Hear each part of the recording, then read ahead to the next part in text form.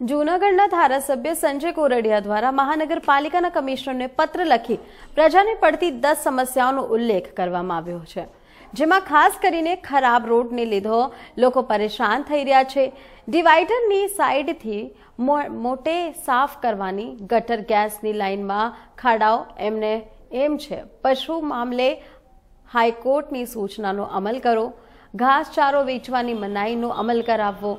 પાણી વિતરણ વખતે બગાડ થતો, અટકાવવો, સ્વિમિંગ પુલની વ્યવસ્થા લોકો સમક્ષ મૂકો અધિકારીઓનો લોક સાથે દરબાર યોજાવવો વગેરે બાબત પત્રમાં ઉલ્લેખ કરવામાં આવ્યો છે. ભૂગર્ભ ગટર અને ટોરેન્ટો ગેસ પાઇપલાઇન માટે કામના ખોદકામો યોગ્ય રીતે કરવા રજૂઆત કરાઈ. સોસાયટી વિસ્તારમાં માર્ગ પર સ્થૂળ ઉડાવવા કારણે લોકોને હાલાકી પડતી હોવાની પણ પત્રમાં ખાસ ઉલ્લેખ કરવામાં આવ્યો છે. આ ઉપરાંત ટ્રાફિકને લાગતા પ્રશ્નોનું નિરાકરણ કરવામાં આવે તે બાબતે પણ રજૂઆત કરાઈ છે. જ્યારે પાર્કિંગની સુવિધા કે જૂનાગઢ શહેર માટે માથાના દુખાવો સમાન સમસ્યા હોય તેનું પણ યોગ્ય નિરાકરણ લાવવાનું પણ ઉલ્લેખ કર્યો છે. જુદા જુદા વિસ્તારોમાં અધિકારીઓ સાથે જઈ સમયાંતરે લોક દરબાર યોજી લોકોની સમસ્યા સાંભળવામાં આવે તેવી પણ રજૂઆત આ પત્રમાં કરવામાં આવી છે.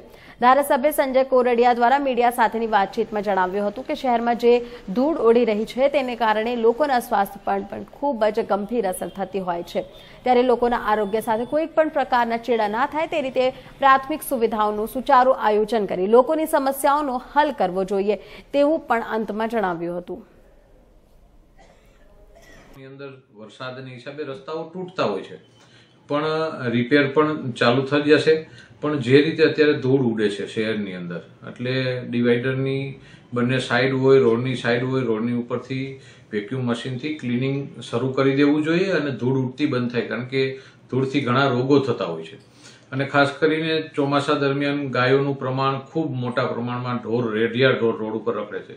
હાઈકોર્ટનો ચુકાદો છે કે એમની ઉપર કાર્યવાહી કરવી, તેમનાથી ઘણા જાન પણ સમગ્ર રાજ્યમાં જતા હોય છે અને આ વિસ્તારમાં પણ ઘણા લોકોના એવા મૃત્યુ થાય છે. એ પરિવારનો મોભી હોય છે. પરિવારનો જ્યારે જવાબદાર વ્યક્તિ ચેલો જતો હોય, ત્યારે આપણી ભૂલને હિસાબે તો એમને પકડવા જોઈએ અને જે રીતે ઘાસચારો નું જાહેરનામું હોવા છતાં ખુલ્લેઆમ વેચાઈ રહ્યું છે. એની ઉપર કાર્યવાહી કરી અને ઘાસચારો બંધ થવો જોઈએ અને જે કામો થાય છે એ પરફેક્શનથી ઝડપથી થવા જોઈએ. ભૂગર્ભ ગટર હોય, ટોરેન્ટના કામો થયા હોય તો ખાડા થઈ ગયા હોય તો લોકો સમજે છે કે આવું થતું હોય છે. પણ હવે ચોમાસું પૂર્ણ થયું છે ત્યારે તાત્કાલિક અસરથી એજન્સીઓ પાસેથી કામ કરાવી લોકો હેરાન ન થાય એવા પ્રયત્નો થવા જોઈએ. એક વખત ખોદાઈ ગયા પછી ફરીથી ખોદાઈ ગઈ એ જગ્યા. એ પણ વ્યવસ્થિત પ્લાનિંગ સાથે કરવું જોઈએ અને ખાસ કરીને દબાણો જે રસ્તાઓ ઉપર ફૂટપાથો ઉપર મોટા પ્રમાણમાં વધી રહ્યા છે.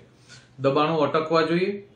રોજીરોટી કોઈ કમાતા એની સામે વાંધો નથી, પણ કોઈ દાદાગીરીથી ગમે ત્યાં રોડ ઉપર ગમે એવું દબાણ કરે, હેરાન કરે, ઘણી જગ્યાએ આપ જોઈ રહ્યા છો, લોકોને હાલવાની પણ જગ્યા ન હોય છે. રેકડીઓ રાખી દે, પાછળ મોટી જગ્યાઓ રાખીને કરે અને દાદાગીરી કરતા હોય છે અને ખાસ કરીને આવી જગ્યાએ મહિલાઓ જતી હોય છે, ત્યારે અમુક અમુક કોઈ બનાવો બનતા હોય છે.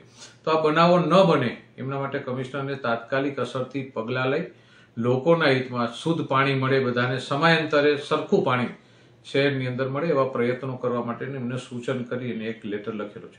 સંજયભાઈ જે આ કોન્ટ્રાક્ટરો છે ભૂગર્ભ ગટરના જે ટોરન્ટ ગેસના એમની અનેકો વાર રજૂઆત છે. તેમના અધિકારીઓને ફોન કરે તો પણ અશોભનીય વર્તન કરતા હોય છે. શું કહેશો એમના માટે? એ મારે કઈ વસ્તુ નથી. અત્યારે જે વસ્તુ લોકોને હિતની વસ્તુઓ છે લોકોને સ્પર્શતી વસ્તુઓ છે કે લોકો હેરાન ન થાય એમના માટેની પ્રાથમિકતા સુવિધા આપવા માટેની આ વસ્તુની